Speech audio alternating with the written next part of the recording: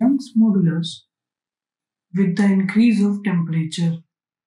Question is हमें question में पूछा गया है, किसी भी मटेरियल का यंग्स मॉडुलस वाई है अगर हम मटेरियल के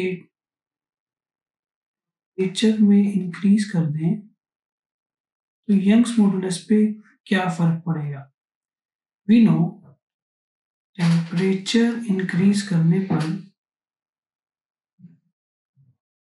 जो डिस्टेंस बिटवीन बोन्स हैं।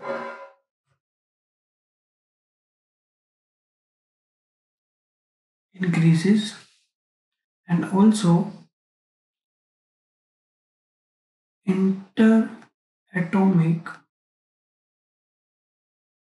जो बाइंडिंग एनर्जी है, वो भी डिक्रीज हो जाएगी।